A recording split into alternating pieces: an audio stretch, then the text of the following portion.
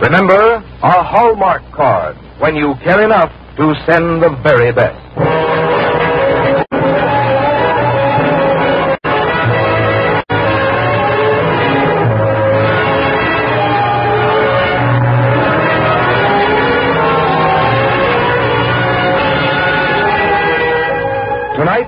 Hollywood, the makers of Hallmark greeting cards bring you an exciting dramatization of an unforgettable story on the Hallmark Playhouse.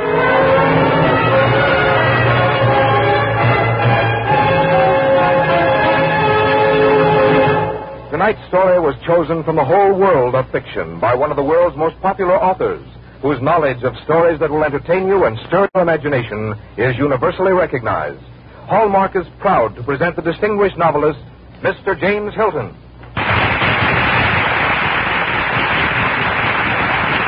Good evening, ladies and gentlemen. Tonight on our Hallmark Playhouse, we have a story that has already proved popular as a novel and on the screen Penny Serenade by Martha Cheavens. It's the sensitive and moving story of a marriage, and it uses music to bring back the memory of past events in a way that will surely appeal to anyone who is old enough to have had any past events.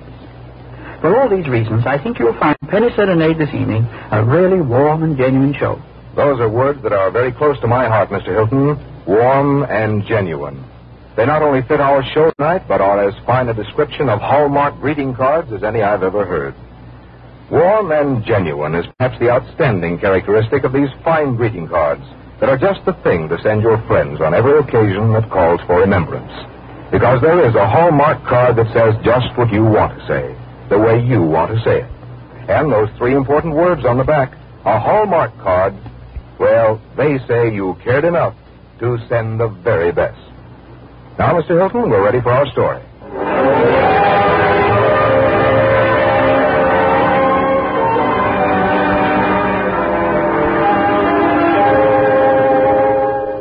Martha Cheavens starts her story like this. Quite alone, on a corner of one of the less fashionable suburbs in Westchester County, New York, stood a squat, ugly, two-storied brick building with a hanging sign over the front door, the Courier Press. It was a bleak winter afternoon. Standing beside one of the windows in the apartment upstairs, Julie Carey looked out at the storm with the last words that Roger Carey had said to her ringing through her head. I don't ever want to see that place again. I don't ever want to see you again. I don't want to see anything that reminds me of. I don't ever want to see you again. Julie turned away from the window, trying to shake the memory of his words from her. She moved over to the phonograph and picked up some records that were stacked beside it.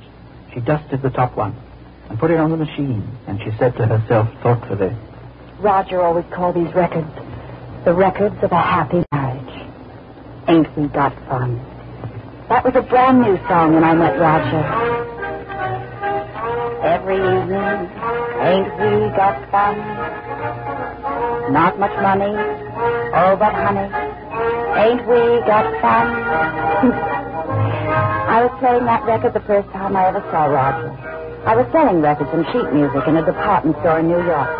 And I looked up, and there he was, leaning on the counter. Hello, gorgeous. What's new in Foxtrot? Well, how do you like this one? How do you like it? I think it's swell. Well, that's good enough for me. I'll take it. Charge it to Mr. Roger Carey, 350 West 57th Street, New York City. Charge it. It's only 35 cents. oh, I never pay for anything until I have to. Spoils my creditors. I'm a newspaper man. That's no excuse. Say, uh, what do you do with your evenings, huh? Um, here's your package, sir. No, no, no. I said I heard you. Now, if you'll excuse me, sir, I'm afraid I'll have to wait on another customer. a fortune teller told me last night I was going to fall in love with a redhead. I don't believe in fortune tellers. Okay, but you must believe in love. Now, really, this is not the time nor the place. Oh, you're so right. And I know just the time and the place. I'll be waiting outside the employee's entrance at It won't do you any good. Are you finding what you want, sir? Thank you. I've found exactly what I want.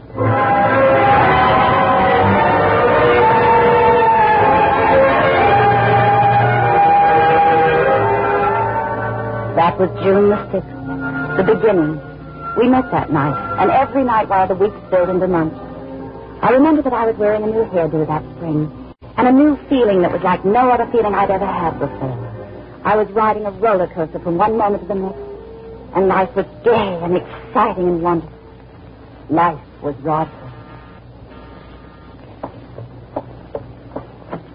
Hiya, baby. Oh, stand back. Let me get a load of that new dress. Like me.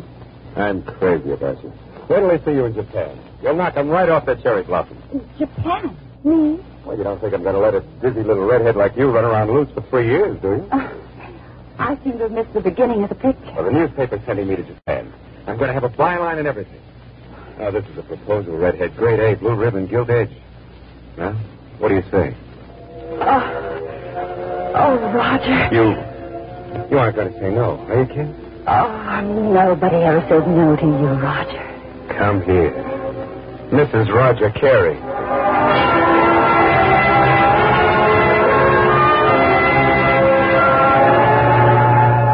The records of a happy marriage. Funny how much songs are a part of your memory, and how easy it is to go back while you listen. I remember a small dark chapel and Roger and I whispering the old honored words. I remember saying over and over to myself, And a few short days later, hearing Roger say, Julie, I, did, I, I don't know what to say to you. I, I thought when I told the office we'd gotten married Sunday, they'd. Well, of course, they didn't say they didn't want you to go. It's, it's just that they, they won't pay the fare, and I'm, I'm a little short at the moment. "Oh, oh, see. Well, I have a hundred and seven dollars in the bank. Yes, well, that's just about a hundred more than I have. Oh, Oh, baby, Well, I- baby, don't look like that. Oh, I'll tell him to shut the job. oh, you can't do that. Oh, it's such a wonderful opportunity, and you're going to have a byline. Well, then, I guess the only thing to do is for me to go over and save every cent I can. And I'll save everything I can. I can go without lunches. Oh, sweetheart, nothing's going to stop us. It may be a bit rough right now, but the world's our oyster. And in a month or two, we're going to crack it and eat it on a half shell.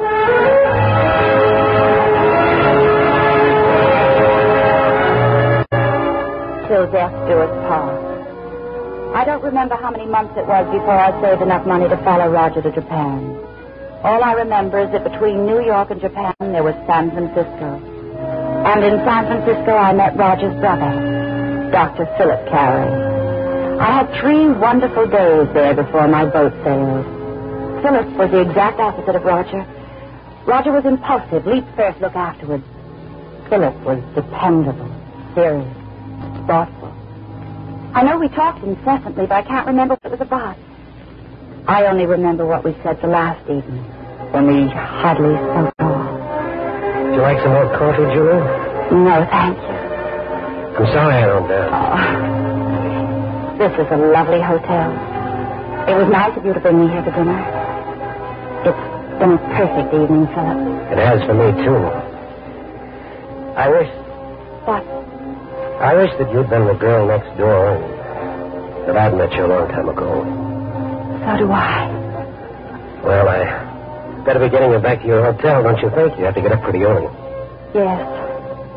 Yes, I think I am a little tired. We met late, didn't we, Philip? Too late. Well, Roger always was the lucky one in this family.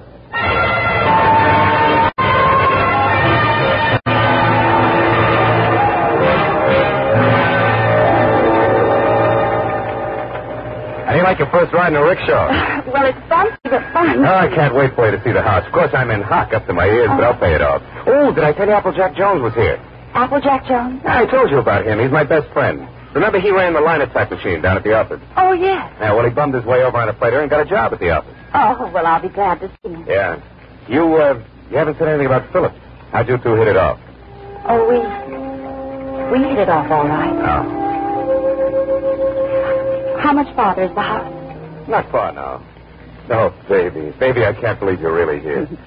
I wish I could have sent you the money to come. Well, I work nights and I manage that way. No, from now on, we're never going to be separated again. Never. Married people belong together. They do, if they're going to stay married. We're going to stay married, kids.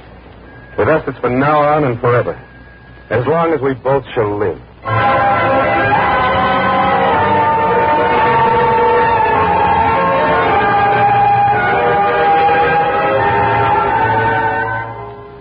Only been in Japan a few months when I found out about the baby. And then, for the first time in my life, I was deeply and completely satisfied and happy. Roger took me up in the mountains outside Tokyo, and there I planned and dreamed and waited. Roger would come up from Tokyo for long weekends. But suddenly, one hot midsummer day, he arrived back unexpectedly. He came rushing up the path. Julie! Hey, Julie, Julie. Oh, Julie, we're rich. We're rich, baby. I just came into an inheritance. we got $6,000. Oh, darling, that's wonderful. Oh, sure. I quit my job the minute the letter came. Quit your job. Yeah. You know what we're doing? We're going on a trip around the world. China, Africa, Europe, New York. Oh, but Roger, Huh? I don't know if I should travel right now. With baby coming, we need every bit of money. Oh, Julie, don't be a wet blanket. Just think. You'll have a son that'll have seen the world before he was born. Come on, baby. We're going to leave for Tokyo right away. We're sailing tomorrow. Is it hot in Tokyo? Hot? Oh, I'll say it's hot. The air's so thick it's like breathing syrup. It's what they call uh, earthquake weather. Earthquake weather. Afterwards, people used to say to me, You were in the great earthquake in Japan, weren't you? Tell us about it. But all I could remember was standing at the head of the stairs listening to the temple bell. And then feeling a tremor. And suddenly seeing the stairs shaking and disintegrating and feeling myself falling into a sharp, unbearable pain and then complete darkness. Later, I remember the pain returning and hearing Roger's voice and the voice of Applejack Jones way off in the distance.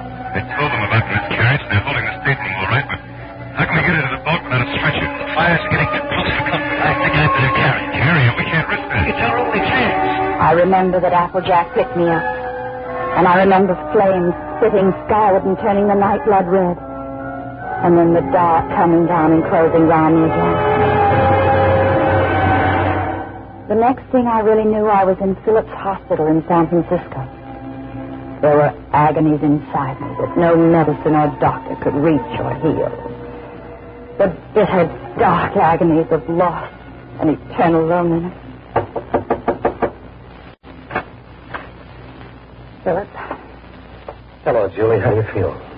I feel all right. Roger's on the telephone with New York. There's a newspaper in Westchester he's trying to buy. Applejack is with him. It would be like Roger to buy a newspaper he's never even seen. Well, he wants to settle down. He wants to try to make up. Make up. Your doctor told you.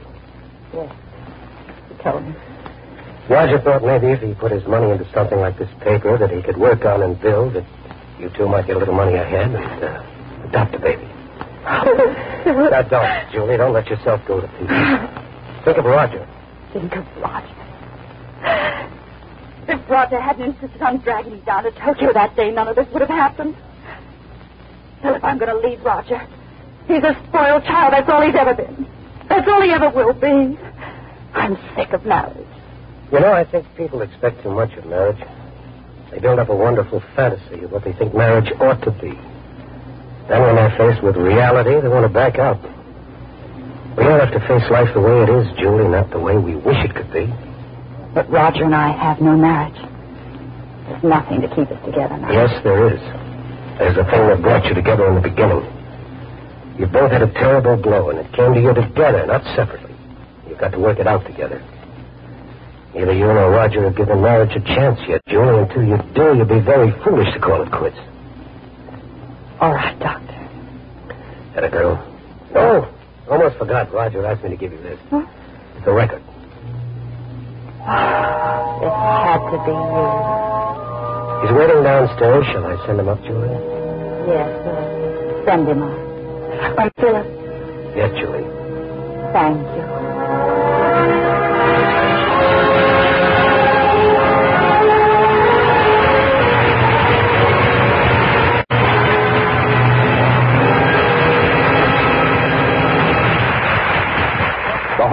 Playhouse is presenting Penny's Serenade, a story selected for you by James Hilton. There is probably no one in America today who has not benefited in some way from the genius of Thomas A. Edison. The motion pictures we see, the phonographs we listen to, even the light bulbs we use have come, wholly or in part, from America's greatest inventor. What was responsible for the genius that marked Edison as a man apart? What was the secret that inspired one man to achieve so much?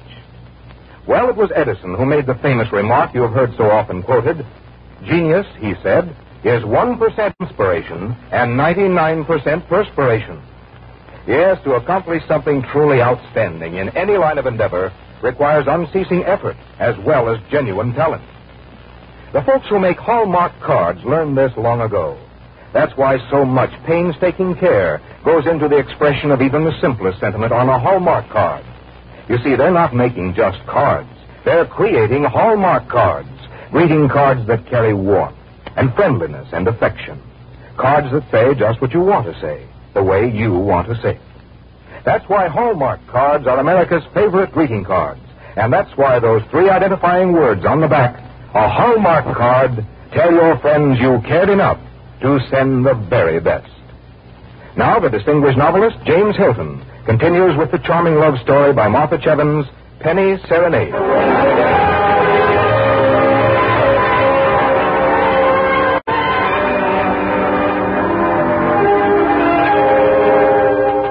Julie and Roger and Applejack Jones moved to Westchester, rolled up their sleeves, and began a long struggle. But those days were all long in the past now. They were only memories to Julie Carey as she sat playing old records, going back across the years as she listened. We waited three years before we went shopping for baby. Even after three years, we weren't what you'd call really affluent. But the figures we were writing down in the book were black instead of red. I had written to an agency and sent them Roger's picture and asked to find us a three-year-old boy that looked like him. And finally, they wrote and asked us to come in for an interview. Oh, we've got to get out of here. We don't want to be late. Wait a minute. There's a speck of dust on that front fender. Oh, we couldn't be. You spent all morning waxing the car off, Jack. Well, everything's got to be so people don't have a baby every day. Oh, oh, I hope the agency likes us. Oh, suppose they turn us down.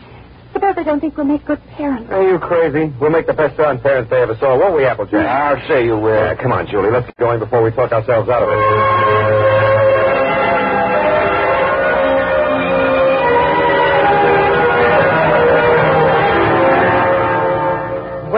Mr. and Mrs. Carey, we have only one child for placement at the moment, a baby. And as a matter of fact, another couple actually have the right to see her first. Her? Her baby? She's a most unusual baby. She's like no other child I've ever seen. And eventually, you know, she will be three. Would you like to see her? Julie? Oh, of course we'd like to see her. And so I held her in my arms for the first time, and she fitted me perfectly. She was five weeks and two days old, and she was Roger's and mine from that moment as completely as though we had actually been her parents. We called the baby Trina, and we measured off her years by Christmases rather than birthdays. That was probably because it was on a Christmas Eve that we finally got the papers that said she was ours. Some of those years, the red figures mounted staggeringly in the account books.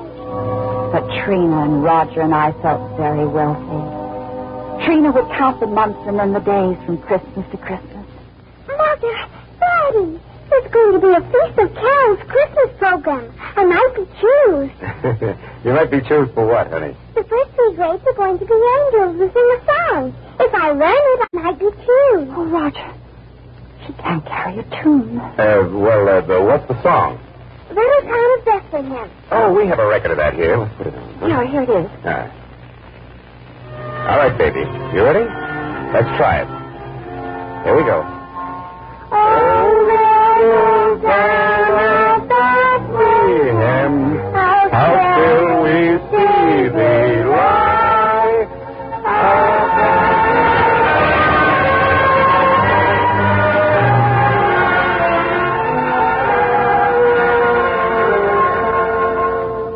Roger couldn't carry a tune either. But Trina was the very first one in her class to be choose to sing with the angels.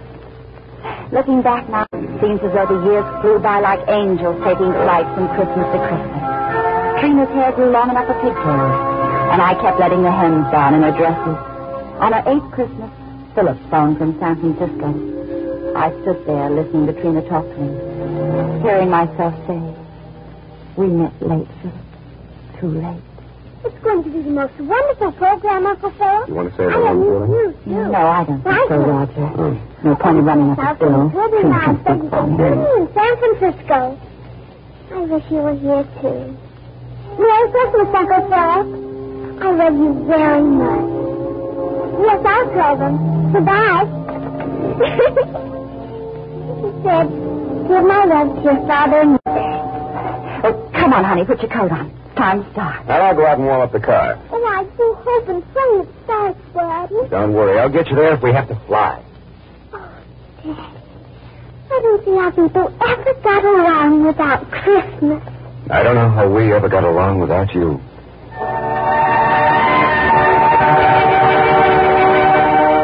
And then, Trina's ninth Christmas. The supreme year. The year a child became a caroler and marched in a solemn procession down the aisle to the stage. One achieved it by a long apprenticeship, by patience and devotion. It was glory. Trina's ninth Christmas. What? What's the temperature now, Doctor? No change, 105. Well, don't just sit there. Do something. I'm praying, Mr. Carey. That's all I can do now. Mother, Yes, darling. is it Christmas? Almost, baby. There's a big the carols program. I might be choose. Yes, darling. I've gotta get up. I've gotta sing with it. I gotta sing. I don't know how people ever got along without Christmas. Trina. I don't know how people ever got along without Christmas. Trina. Trina!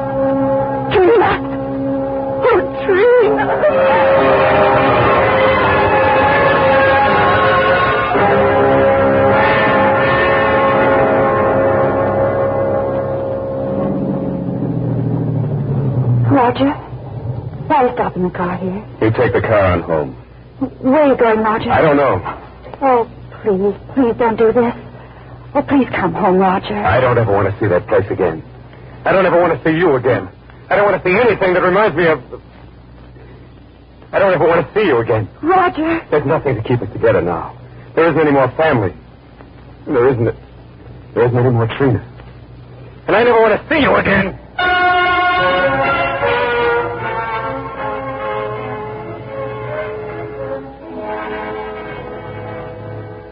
Records of a happy marriage. Oh, Roger. Roger, if I'd only known what to say to you. If I... Come in. Oh.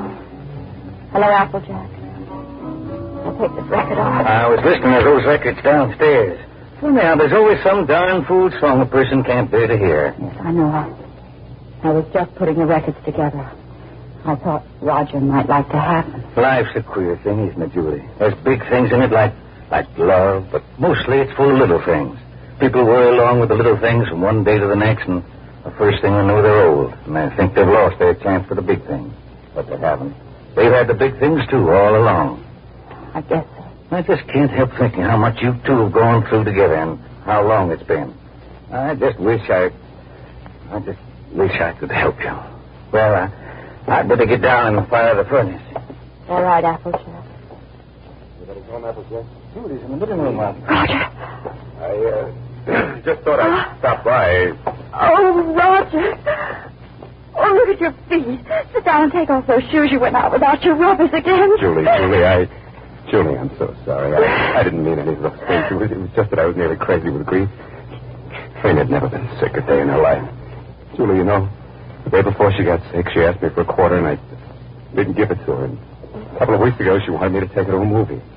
I told her I was too busy. Yes, I know. It's been the same with me. And she was trying on her carrier's costume. She wouldn't stand still, and I said, I said, I'm never going to try anything on you again. And I never did. Oh, Julie, Julie, darling, you know, for years I, I thought you were in love with Philip. Oh, no, Roger. I'm not in the way you mean. Philip was and is sort of a symbol to me. An ideal, a beautiful philosophy of life. Oh, but Roger, your life itself. And know something. Philip knows that, too.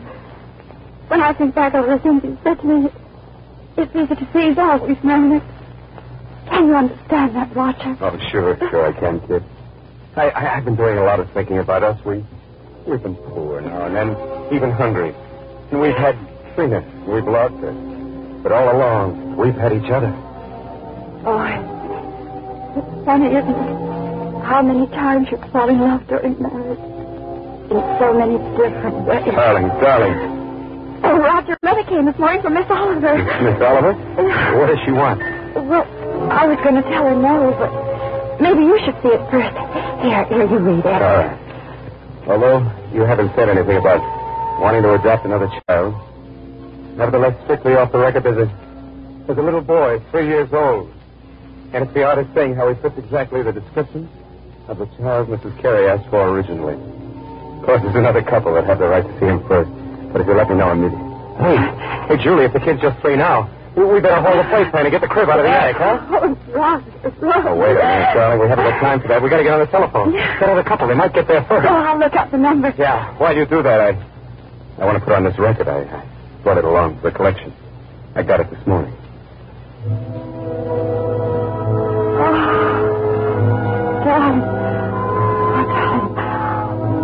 Want to walk without you, baby. oh, Roger, you would take that one. It's our kind of song, kid, yours and mine.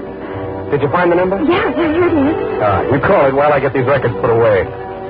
We've got to take good care of these records, you know, Julie? They're records of a very happy marriage.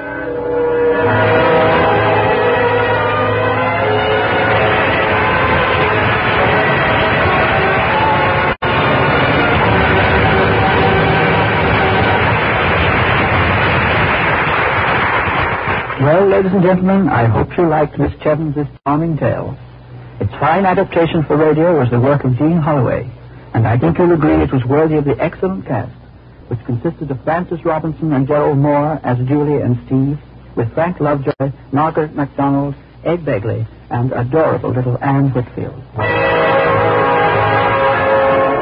In a moment, you'll hear again from Mr. Hilton. Have you heard about the new Hallmark Doll Collector's Album? Children are going to have more fun than ever collecting Hallmark dolls now that there's a lovely new album to put them in. It gives you a new and inexpensive way to make some child very happy. And during this introductory period, the album is only 25 cents when you buy one or more of the Hallmark dolls. You'd expect the album alone to be worth a dollar, but you can give your little boy or girl or some little friend the Hallmark Doll Collector's Album with three beautiful Hallmark dolls in it to start a collection for only one dollar. It's a wonderful and truly different gift that will make any child's heart leap with joy. Then later, you or friends and relatives can help complete the entire collection of 16 colorful Hallmark dolls. The dolls are as easy to send as any Hallmark greeting card and cost only 25 cents each. And each new doll added to the collection will mean a new thrill for a child. So stop in tomorrow and see this new album at the store where you buy your Hallmark cards. Remember, the album with three dolls in it to start the collection is only one dollar. Now, once again, James Hilton. Next week, we take you back over a century ago to a classic written by one of the world's very greatest novelists. It's a story which deserves many complimentary adjectives, but if I had to choose one only, I'd call it elegant. It's Jane Austen's Pride and Prejudice, and I hope you'll be listening. Until then, this is James Hilton saying good night.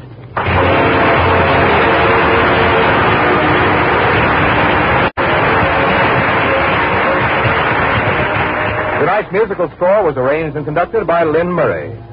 To be doubly sure of the finest quality, always look on the back of your cards for those three identifying words a Hallmark card. Hallmark cards are sold only in stores that have been carefully selected to give you expert and friendly service. Remember Hallmark cards when you care enough to send the very best. Now, this is Frank Goss saying goodnight to you all until next Thursday at the same time when James Hilton returns with his story selection for the week Jane Austen's classic, Pride and Prejudice.